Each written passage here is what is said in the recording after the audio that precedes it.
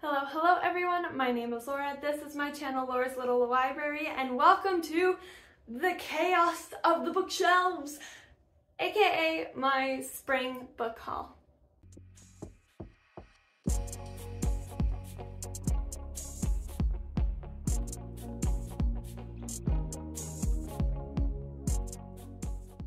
So recently I've acquired more books.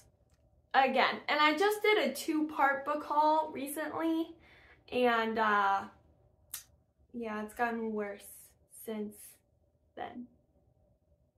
Uh, my shelves are in complete chaos and the audio and the lighting are a little wonky in this video, so please patience with me. I just moved into my little book room that I've created and I'm still working out a few kinks here.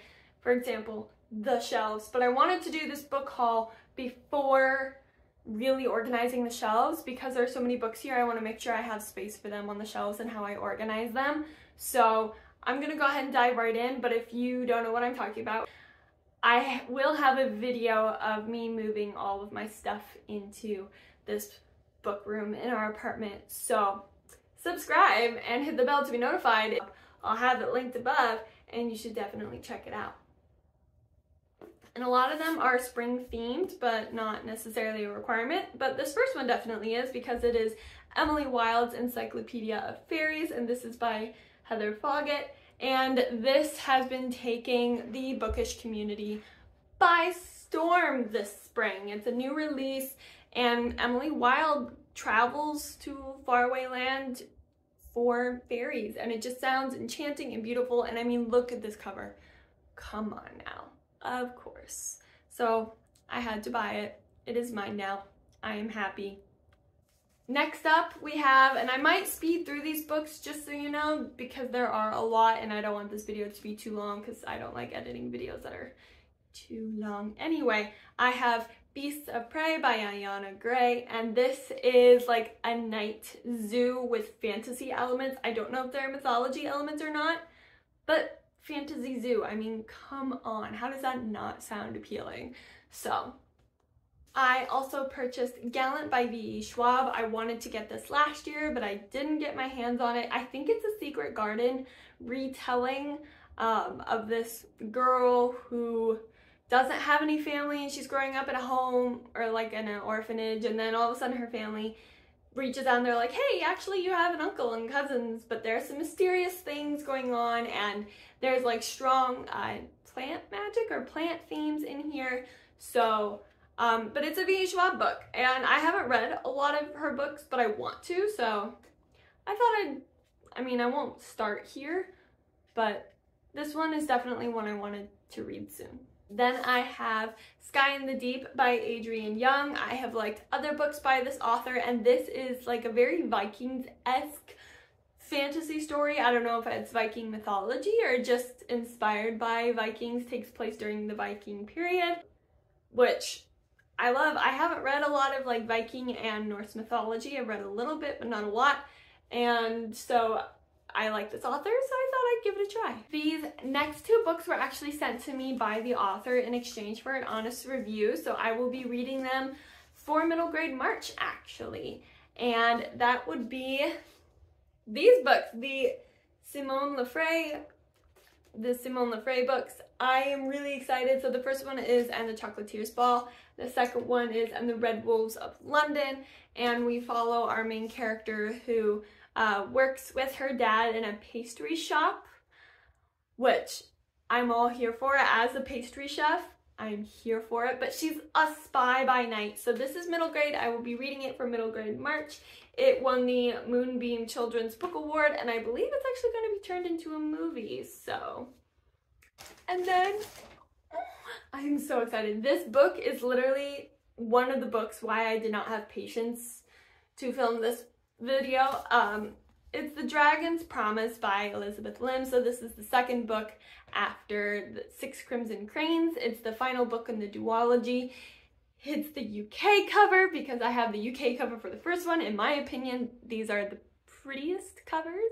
I love the pastels. I love the artwork. It is enchanting. This is centered around Chinese mythology. Seriously, read Six Crimson Cranes if you haven't.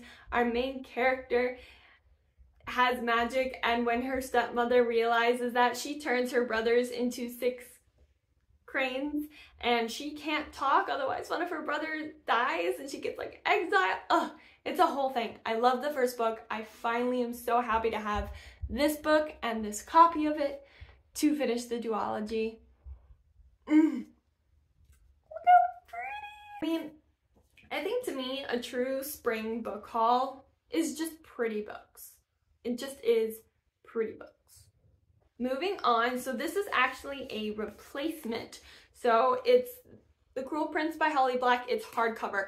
The copy that I had was soft cover and literally every other Holly Black book that I have, like The Wicked King, The Queen of Nothing, How the King of Elfhame Learned Hate Stories, and The Stolen Heir are all hardcover. And it bothered me so much that just one book wasn't. So I bought this in hardcover so that they would match.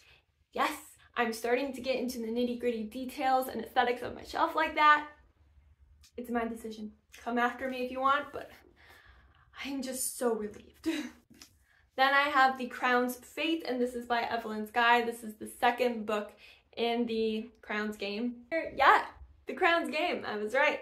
Duology, I read both books and I bought the second book so that I can complete the set because I liked them. This is a fantasy kind of imperial Russia, you have two enchanters who are fighting to be the official enchanter to the Tsar, and it may end in romance. I don't know, read the books. Ooh, I forgot about this one. Uh, the School for Good and Evil, Crystal in Time. This is book five by Soman Chainani in the School for Good and Evil series. Uh, there's a first trilogy and then there's a second trilogy, but you can count it as a six book trilogy if you want. So this is either book two in the Camelot years or book five in the universe. I just need the sixth book and then I have all the ones in the series, which is great because the movie came out, so yay. Then I bought The Girl in the Tower and The Winter of the Witch, and these are by Katherine Arden. So these are books two and three of the Bear and the Nightingale trilogy. I read the first book and instantly read these two books and know that I needed to finish owning the trilogy because I just sped through reading them so quickly. They are based in Russian folklore and they were amazing. So now I have the rest of the trilogy. Oh, I forgot next ones. I was thinking I needed to buy these, but it, I was thinking about them because I just purchased them. Um, Finale by Stephanie Garber. Third and final book in the Caraval trilogy by Stephanie Garber. And I would not allow myself to buy the Once Upon a Broken Heart and the Ballad of Never After until I completed purchasing this trilogy. And now I have finished purchasing this trilogy and I am so happy and I can move on. I have read all the books in this universe and they make me happy. They are wonderful. So yeah, definitely worth the read if you like whimsical circus competition, kind of dark magic, what can you trust, don't know what you can trust, and sisterly love. Go for the Caraval trilogy. I am completing or close to completing so many series. It makes me feel less stressed and less and relieved because like here's another final book in a series that I've read and absolutely adored. Capturing the Devil by Kerri Maniscalco. This is the fourth and final book in the Stalking Jack the Ripper series. And probably one of the best books in the series. Holy mm, love this so much. Now I can finally add it onto my shelves. Stalking Jack the Ripper, in case you didn't know, uh, is in 1800s and you have a female main character who wants to uh, be like a mortician. Well, she wants to like do autopsies and study dead bodies and whatnot. Uh, but it's the 1800s and she's a woman. But then the first one is uh, stalking Jack the Ripper. Obviously, she gets involved with the Ripper cases, and then you've got hunting Prince Dracula, and you've got escaping Houdini, and now capturing the devil. So this was just a really fun series. The romance and okay, this is not a recommendations video, but the romance. So obviously, you see why I had to buy the whole series now. I hope you see.